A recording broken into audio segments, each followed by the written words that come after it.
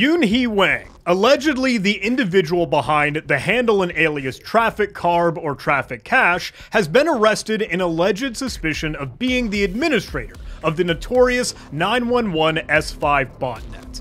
The inner workings of the botnet were that software published by Traffic Curb was in fact malware, disguised as free virtual private networks or VPNs. These malware scams were made free for the public, and they infected each Windows device that would install and use them. Ultimately, that led to over 19 million IP addresses being part of the botnet, all international, which meant billions of dollars in pandemic and unemployment fraud and access to child exploitation materials by cybercriminals in that syndicate. You can read more about it on the justice.gov press release, but I would like to explore and see what other chatter is out there, out and about following this arrest and the 911 S5 botnet as a whole. I'm taking a look at discussions across the dark web, and to do that, I'm using Flare.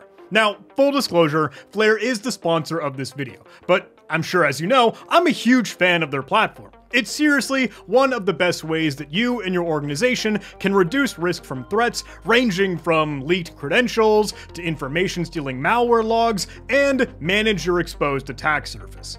Anyway, let's see what cybercriminals are chatting about surrounding the 911 S5 botnet. This one includes a link so we can go take a look at the source. This is a post on XSS.is, one of the known Russian hacking forums, so this isn't a language that I can't read, but I'll have it funneled through Google Translate. The translation might get mixed up, and it might not be the best English, but you can kind of get an idea. and right away, folks are asking about what kind of mixer they use, and oh, their hosting provider. That's like riding their coattails, wanting to use whatever they did. There are about three pages worth of discussion here, and it's the usual threat actor antics, right? Whatever flaming shenanigans they do, and I won't drag you down the rabbit hole here, but I would like to be scrolling through a bit just so you get to see it. Bear in mind, this is just chatter on XSS.is. There's certainly more in other forums or Telegram channels. Telegram is, after all, like social media for cybercrime. It's the threat actor's hangout spot in HQ. And just so you know how we're tracking all this down, Flare has built their own archived copy of the dark web, and other more questionable illicit websites. They've ingested over 6,000 Telegram channels and leaky S3 buckets and GitHub repositories and all this wild stuff out there on the internet. And they've made it searchable like Global Universal Search, so you can look through the entire historical archive that's updated every single day. Looking through the results, we can see lots of discussions around the arrest of the alleged botnet administrator. And remember, 911 S5 lured victims by offering a free VPN. That VPN installed malware that added the victim's IP address to the botnet. At the time of the arrest, the botnet controlled about 120,000 residential proxy nodes all around the world, and each of them interacted with several C2 or command and control servers located abroad or hosted on a cloud server.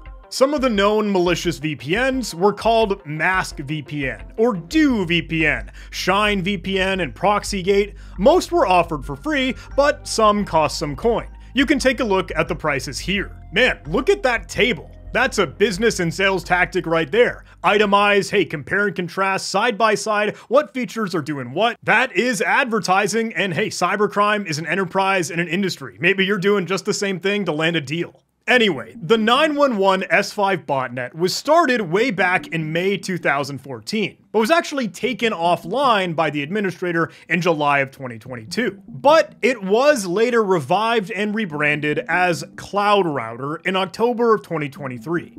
You could actually find them online at cloudrouter.io. But that has been seized by law enforcement and taken down. This seizure banner is actually an animated GIF that loops through the law enforcement notice in the different appropriate languages. And the link that they reference on the page brings you to the FBI notice on this takedown.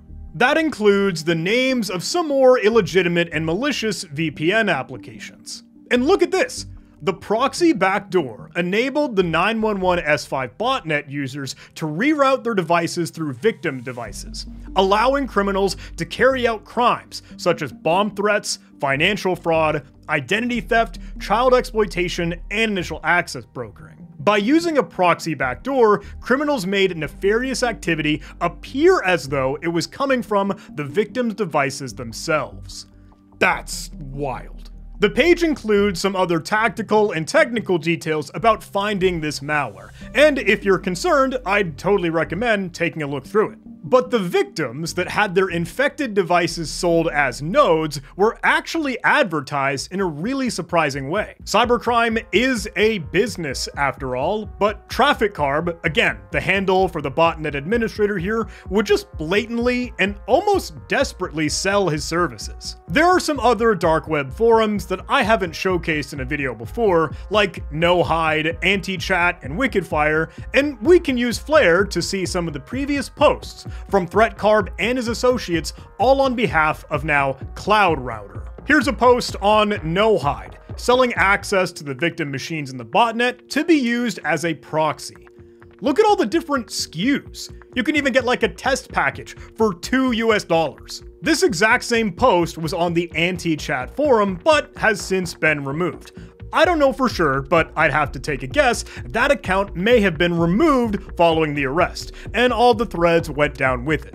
On that note, we even see the Cloud Router user post on Wickedfire, but he realized his own advertising might not have followed the forum's community rules. So he says, Oh, I wasn't supposed to post this thread, not sure how to delete it. That page won't even load. I guess I don't know, I suppose Wickedfire is changing up their website right now. But now we can follow through with whatever this user account posted across whatever forum by tracking their username with Flare.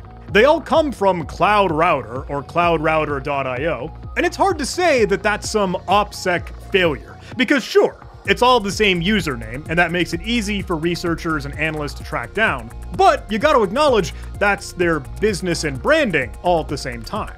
So, what about the victims?